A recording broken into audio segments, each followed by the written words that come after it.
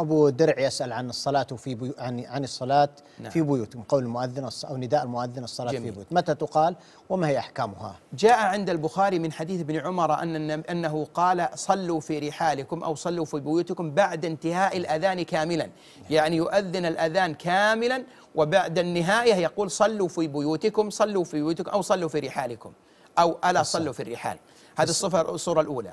الصفة الثانية ما جاء عن ابن عباس كما في البخاري ومسلم أنه قال للمؤذن إذا بلغت حي على الصلاة حي على الفلاح فقل صلوا في رحالكم. وهذا يدل على أنه يلغى حي على الصلاة حي على الفلاح. وهذا من فعل ابن عباس. وقال أما إنها جو أما أن الجمعة ازمه ولكن كرهت أن يخرج الناس في الدحض والطين.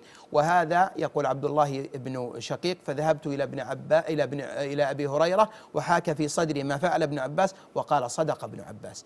ولعل أبا هريرة يريد صدق ابن عباس في جواز الترخص في ترك الجمعة لأجل الطين والدحر الصورة الثالثة أن يقول حي على الصلاة حي على الفلاح ثم يتبعها بعد يقول ألا صلوا في بيوتكم؟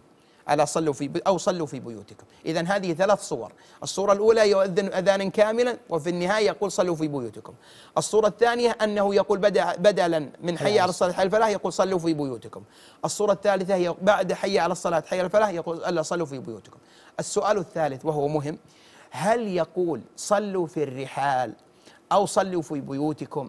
الذي يظهر والله تبارك وتعالى أعلى وأعلم أن هذه عبارة لا يتعبد العباد في فيها.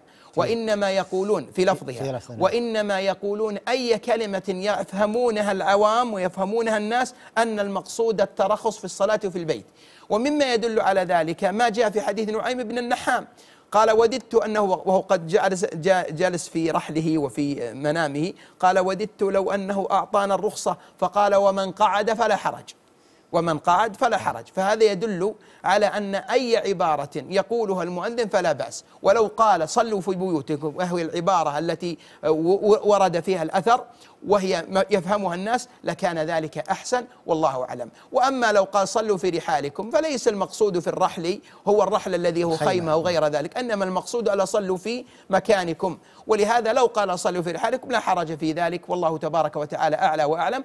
وذلك لأن جاء في حديث البخاري النبي أن أنه آه، آه، جاء في حديث ابن عباس أنه قالها صلوا في رحالكم وهم في المدينة والمدينة بيوت فلهذا لا أرى في بأس أن يقولوا صلوا في رحالكم أو صلوا في بيوتكم وإن كان عبارة صلوا في بيوتكم أقرب والله أعلم. بارك الله فيك. لو استعاض عنها بك صلوا في منازلكم. لو. قال صلوا في منازلكم عبارة لا بأس بها. المقصود أنه يؤذن المؤذن ويعطي الناس رخصة ألا يأتوا إلى المسجد. بارك. الله فيكم على هذا الإيضاح. فضيلة الشيخ